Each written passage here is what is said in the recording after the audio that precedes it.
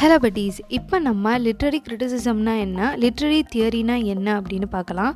லிட்ரேச்சர்லேயே ரொம்ப வேகான கஷ்டமான சப்ஜெக்ட்னால் அது லிட்ரரி கிரிட்டிசிசம் அண்ட் தியரி தான். இந்த பேப்பர் இவ்வளோ டஃப்பாக இருக்க காரணம் லிட்ரரி கிரிட்டிசிசம்னா என்ன லிட்ரரி தியரினா என்ன அப்படிங்கிற அண்டர்ஸ்டாண்டிங் இல்லாதது தான்.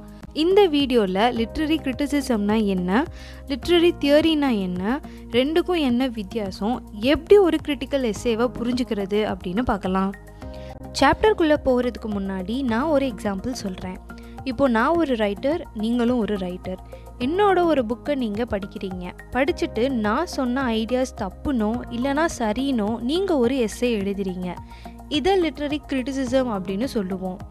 இதே நீங்கள் ஏன் தப்புன்னு ஒரு தியரியை பேஸ் பண்ணி எஸ்ஸே எழுதினீங்கன்னா அது லிட்ரரி தியரி ஒரு தியரியை யூஸ் பண்ணி கிரிட்டிசிசம் பண்ணால் அது கிரிட்டிக்கல் தியரி எந்த தியரியும் யூஸ் பண்ணாமல் கிரிட்டிசைஸ் பண்ணால் அது லிட்ரரி கிரிட்டிசிசம் எல்லா காலகட்டத்திலையுமே ஒரு ரைட்டர் அவங்களுக்கு முந்தின ஜெனரேஷனோட ஒர்க்கையோ இல்லைன்னா அவங்க பீரியடை சேர்ந்த ஒர்க்ஸையோ கிரிட்டிசைஸ் பண்ணியிருக்காங்க.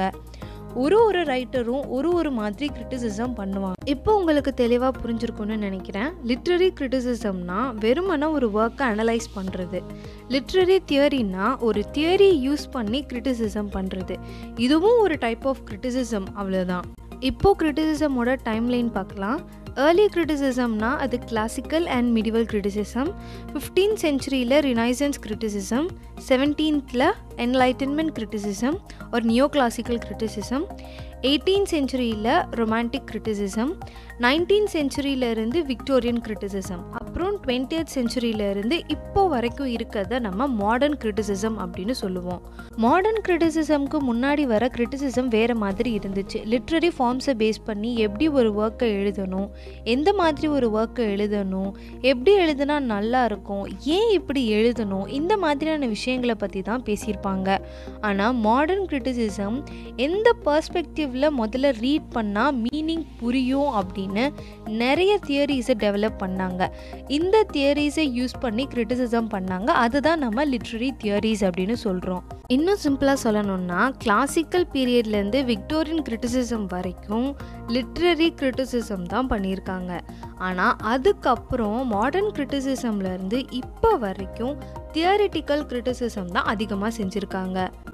இப்போ என்னென்ன தியரிஸை மாடர்ன் கிரிட்டிக்ஸ் டெவலப் பண்ணியிருக்காங்க அப்படின்னு பார்க்கலாம். Formalism new criticism structuralism post structuralism இவங்க எல்லாருமே வேறு வேறு ஐடியாஸோடு இருந்தாலுமே காமனாக ஒரு விஷயத்தை தான் சொல்லுவாங்க. ஒரு ஒர்க்கோட மீனிங் அந்த ஒர்க்குள்ளேயே தான் இருக்குது வெளியில் எங்கேயும் தேவை கிடையாது. மாடர்னிசம்லேருந்து டெவலப் ஆனது தான் போஸ்ட் மாடர்னிசம் இந்த வீடியோ நம்ம சேனலில் அவைலபிளாக இருக்குது நீங்கள் இன்னும் பார்க்கலன்னா பார்த்துக்கோங்க. போஸ்ட் கொலோனிஸ்ட் தியரிஸை யூஸ் பண்ணி கொலோனியல் இம்பேக்ட் பற்றி சொல்லுவாங்க. மார்க்சிசம் எக்கனாமிக் ஈக்குவாலிட்டி பற்றி பேசியிருப்பாங்க. ரீடர் ரெஸ்பான்ஸ் தியரியில் மீனிங்கை ரீடர் தான் டிசைட் பண்ணுறாங்க அப்படின்னு சொல்லியிருப்பாங்க. ஈகோ கிரிட்டிசிசமில் நேச்சரோட இன்ஃப்ளூயன்ஸ் பற்றி சொல்லியிருப்பாங்க. ஃபெமினிசமில் ரோல் ஆஃப் விமன் பற்றி சொல்லியிருப்பாங்க. கைனோ கிரிட்டிசிசமில் விமன் ரைட்டர்ஸ் பற்றி சொல்லியிருப்பாங்க. குவர் தியரியில் எல்ஜிபிடி பற்றி சொல்லியிருப்பாங்க. அதாவது ஜெண்டரையும் செக்ஷுவாலிட்டியையும் ட்ரெடிஷ்னல் நார்ம்ஸாக பார்க்கக்கூடாது. ஹெட்ரோசெக்ஷுவல் மட்டுமே சரி அப்படின்னு கிடையாது அப்படின்னு சொல்லியிருப்பாங்க. சைக்காலஜி பற்றி சைக்கானலிட்டிக்கல் கிரிட்டிசிசமில் சொல்லியிருப்பாங்க. சில சிம்பிள்ஸ் இமேஜஸ்க்கெலாம் ஜென்ரல் மீனிங் இருக்கும். அதாவது இப்போது ஸ்னேக் அப்படின்னா ஈவில் ஆப்பிள்னா பாய்சன் இந்த மாதிரியான ரெக்கரிங் மிட்ஸ் அண்ட் இமேஜஸை யூஸ் பண்ணி ஒரு டெக்ஸ்ட்டை இன்டர்பிரேட் பண்ணுறது தான் ஆர்கிடைப்பல் கிரிட்டிசிசம் நியூ ஹிஸ்டாரிசிசமும் மார்க்சிசமும் ரெண்டுமே கல்ச்சுரல் ஸ்டடி தான்.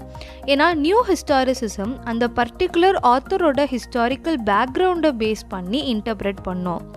இன்னும் நிறைய தியரிஸ் கூட இருக்குது ஆனால் நம்ம தெரிஞ்சுக்க வேண்டிய பேசிக் தியரிஸ் இவ்வளோ தான் ஒரு ஒரு தியரி பற்றியும் டீட்டெயிலாக செப்பரேட் வீடியோஸில் நம்ம பார்க்கலாம். ஏன்னா எல்லாமே நான் ஒரே வீடியோவில் சொன்னாலும் கன்ஃபியூஷன் தான் ஆகும். இப்போ லிட்ரரி கிரிட்டிசிசம்னா என்ன லிட்ரரி தியரினா என்ன அப்படின்னு கிளியராக பார்த்துட்டோம். அடுத்ததாக லிட்ரரி கான்செப்ட்னா என்ன அப்படின்னு பார்க்கலாம். ஏதாவது ஒரு கான்செப்டை பேஸ் பண்ணி தானே தியரியை டெவலப் பண்ண முடியும்.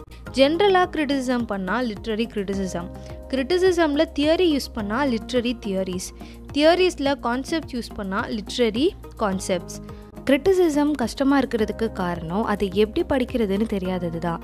இப்போ உங்களுக்கு நான் ஈஸியாக எப்படி ஒரு கிரிட்டிக்கல் எஸ்ஸேவை புரிஞ்சு படிக்கிறது அப்படின்னு சொல்லித்தரேன். முதல்ல அந்த எஸ்ஸே எந்த பீரியடை சேர்ந்தது அப்படின்னு பார்க்கணும். லிட்ரரி கிரிட்டிசிசமாக லிட்ரரி தியரியா அப்படின்னு கண்டுபிடிங்க. லிட்ரரி கிரிட்டிசிசமாக இருந்தால் ஏன் இந்த எஸ்ஸேவை ரைட்டர் எழுதியிருக்காரு? எதை பற்றி சொல்லியிருக்காரு? எப்படி சொல்லியிருக்காரு? மெயின் பாயிண்ட்ஸ் என்ன என்ன அப்படின்னு கண்டுபிடிங்க. இதே லிட்ரரி தியரியாக இருந்தால் ஏன் இந்த எஸ்ஏவை எழுதியிருக்காரு இந்த ரைட்டர் எந்த தியரியை பேஸ் பண்ணி எழுதியிருக்காரு?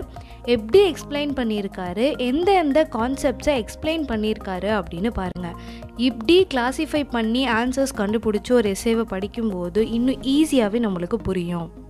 ஓவராலாக நீங்கள் புரிஞ்சிக்க வேண்டியது என்னென்னா லிட்ரரி தியரிக்கும் லிட்ரரி கிரிட்டிசிசம்க்கும் டிஃப்ரென்ஸ் இருக்குது மாடர்ன் கிரிட்டிசிசம் பீரியடில் தியரிஸ் யூஸ் பண்ணி கிரிட்டிசிசம் பண்ண ஆரம்பித்தாங்க அதுக்கு முன்னாடி தியரிஸ் கிடையாது. இந்த மாதிரி தியரிஸ் யூஸ் பண்ணி எழுதுகிற கிரிட்டிக்கல் எஸ்ஸேவை கிரிட்டிக்கல் தியரிஸ் அப்படின்னு சொல்லுவாங்க. ஒரு எஸ்ஸேவை படிக்கும்போது அது தியரியாக கிரிட்டிசிசமானு தெரிஞ்சு படிக்கும்போது அண்டர்ஸ்டாண்டிங் அதிகமாக இருக்கும்.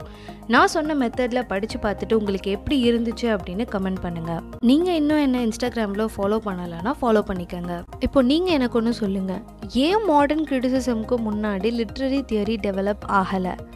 உங்களோட பதிலை கீழே கமெண்ட் பண்ணுங்கள் உங்கள் பதில் ஆப்டாக இருந்துச்சுன்னா என்னோடய நெக்ஸ்ட் வீடியோவில் அப்லோட் பண்ணுறேன் ஆனால் ஒன்று பட்டீஸ் லிட்ரேச்சரை பொறுத்தவரை சரியான பதில்னு ஒன்று கிடையவே கிடையாது. ஓகே பட்டீஸ் இந்த வீடியோ உங்களுக்கு புரிஞ்சிருக்கும்னு நினைக்கிறேன். ஏதாச்சும் டவுட்ஸ் இருந்துச்சுன்னா கமெண்ட் பாக்ஸில் கமெண்ட் பண்ணுங்கள் அண்ட் என்ன சப்போர்ட் பண்ண மறந்துடாதீங்க.